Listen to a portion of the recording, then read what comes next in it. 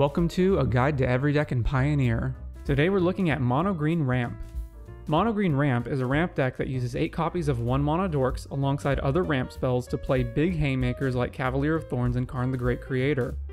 The deck is looking to go way over the top with a superior mana advantage, often using Nykthos or Nissa, and amass an unassailable board state or single unbeatable bomb. The exact deck list is somewhat in flux and there have been attempts to create radically different versions of it. This guide will focus on the most common lists and their similarities.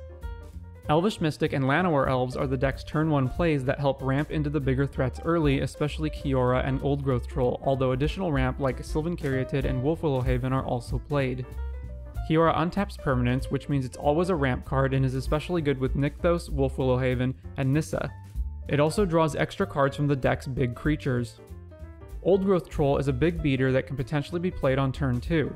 In this deck, it isn't much of a threat, but has a number of other uses. It's a huge roadblock for aggro decks, draws extra cards with Kiora, and provides 3 green pips for Nykthos. If it's killed, it returns as an enchantment that provides more ramp and can be recycled into another 4-4. Cavalier of Thorns is another huge roadblock for opposing creature decks that also ramps, with reach being especially important in the Phoenix heavy meta. Like Troll, it also nets resources if killed. Karn is the deck's best win con, retrieving important hate pieces from the sideboard or big bombs. God-Pharaoh statue is an amazing tax effect, especially if ramped into quickly. Other notable bomby artifacts include the Immortal Sun, Sky Sovereign, and the Great Henge. Storm the Festival is a collected company-esque spell that puts two spells worth 5 mana or less each onto the battlefield, which in this deck is likely any threat in the deck.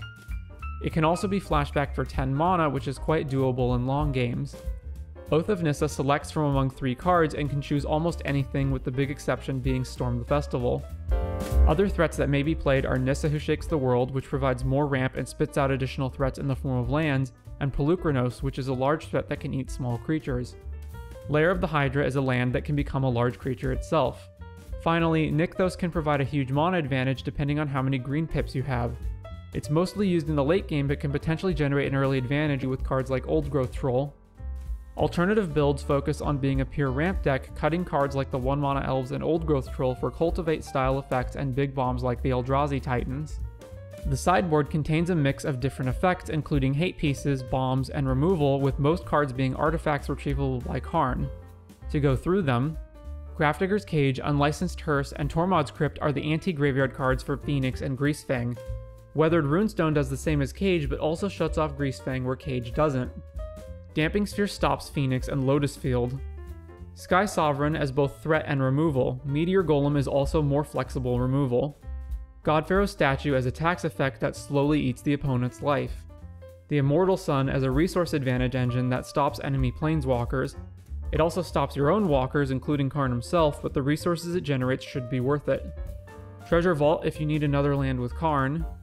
Pithing Needle as a general purpose answer to various cards, including enemy planeswalkers. Voracious Hydra as creature-based removal. And finally, Pestilent Cauldron can be retrieved with Karn and then it's back half cast for value. It's also part of an infinite combo.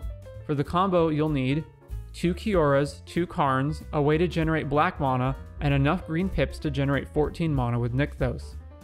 Because Restorative Burst exiles itself, you can retrieve it with Karn since its front half is an artifact. Using a combination of Kioras and Karns, you can untap Nykthos for mana, retrieve Cauldron with Karn, then play a new Kiora and Karn, legend ruling the previous two and fetching them back with Burst as long as you have 14 mana from Nykthos to cast everything. This will gain you and your opponent infinite life. Then, as long as you can make one black mana with something like Sylvan Caryatid or Treasure Vault, you can cast Pestilent Cauldron on its front half and activate its second ability, milling your opponent for infinite cards.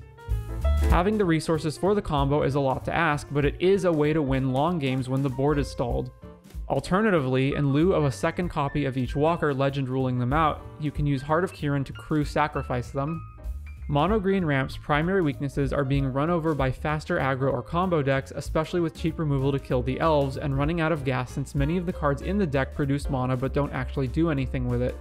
It can also be susceptible to creatures with evasion if it doesn't draw Cavalier or other reach creatures. Tips and tricks.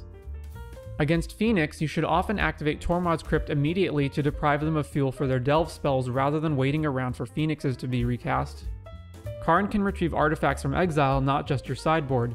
You can use Tormod's Crypt and Hearse to eat artifacts that have died and recast them. Karn can transform big artifacts into giant beaters, notably God-Pharaoh's statue, Immortal Sun, and Great Henge.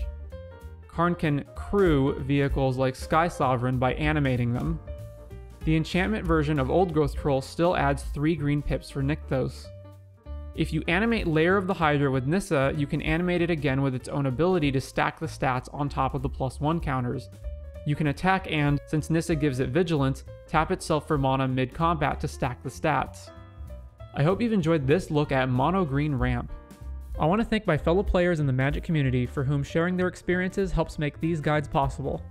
You can find additional resources, such as an up-to-date deck list, in the description. If you think I left out anything important or got something wrong, please leave your thoughts in the comments, and stay tuned to see what deck we look at next time.